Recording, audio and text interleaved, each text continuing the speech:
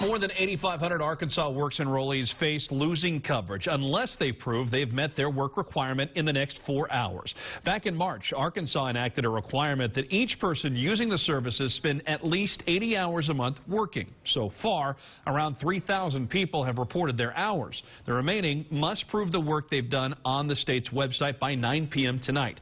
A spokesperson for the State Department of Human Services says if enrollees fail to meet the compliance standards three times, they lose their health care coverage.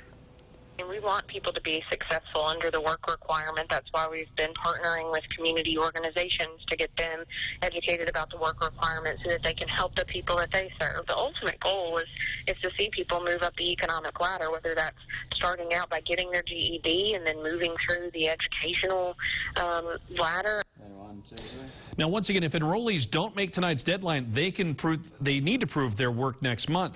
DHS says if you don't have access to internet at your home to fill out the application, they suggest going to a local library or DHS office. The Arkansas